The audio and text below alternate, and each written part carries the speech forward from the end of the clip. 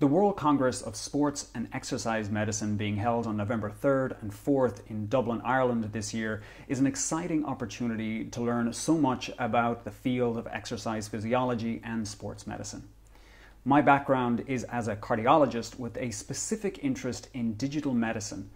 how its history has really crafted and shaped the tools and technologies that are available to us to really monitor and observe and ultimately make better performance decisions for physicians who are working in the field.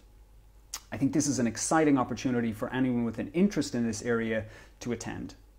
So, if you're interested in the field, please come join us in Dublin, Ireland this year on November 3rd and 4th, 2018, and we really look forward to seeing you there.